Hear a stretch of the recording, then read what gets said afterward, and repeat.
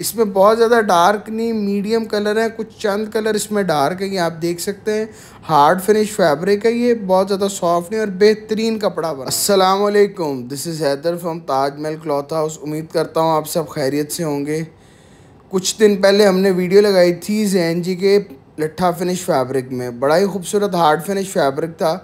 उस आर्टिकल की हमारे पास माशाल्लाह इतनी डिमांड आई थी हमने उसके चार कार्टन मंगवाए थे, अल्हम्दुलिल्लाह, सारा ही माल सेल हो गया है। ये उसमें कुछ नए कलर आए हैं, बड़े खूबसूरत कलर हैं, दस अमेजिंग कलर हैं इस आर्टिकल में, और ये आर्टिकल दोबारा रीस्टॉक हो चुका है। हमारे जिन क्लाइंट्स को भी आर्टिकल चाहिए हो, वो हमसे कांटेक्ट कर लें, ये आर्टिकल उनको हमारी शॉप से अवेलेबल मिलेगा। इसमें जो सबसे पहले कलर आपको दिखाया, वो लाइट स्काई ब्लू की शेड है, उसके बाद नेवी ब्लू कलर आपको दिखाया है। इसके बाद ये चॉकलेट ब्राउन कलर आप देख सकते हैं। इसके बाद ये वाला कलर चेक कीजिएगा, बड़ा खूबसूरत लाइट स्किन कलर बना हुआ है। इसके बाद ये वाला कलर चेक कीजिएगा, ये भी बड़ा खूबसूरत लाइट पिंक की शेड बनी है, बड़ा ही खूबसूरत कलर है, पहना हुआ बहुत ही प्यारा लगता है। इसमें बहुत ज़्यादा डार्क नहीं मीडियम कलर है, कुछ चंद कलर इसमें डार्क है, ये आप देख सकते हैं। हार्ड फिनिश फैब्रिक है ये, बहुत ज़्यादा सॉफ्ट नहीं और बेहतरीन कपड़ा बना हुआ है।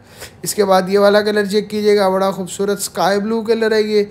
ये लाइट स्काई सा कलर है, बड़ा खूबसूरत, को बहुत ज़्यादा डार्क तेज़ नीला रंग नहीं है, बड़ा खूबसूरत लाइट स्काई की शेड है।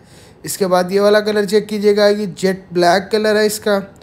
बहुत ही अमेजिंग कलर है, बड़ा प्यारा कलर बना हुआ है। इनके कलर इस तरह के होते हैं, आप जैसे मर्ज़ी इस्तेमाल करें, इनके कलर ख़राब नहीं होते।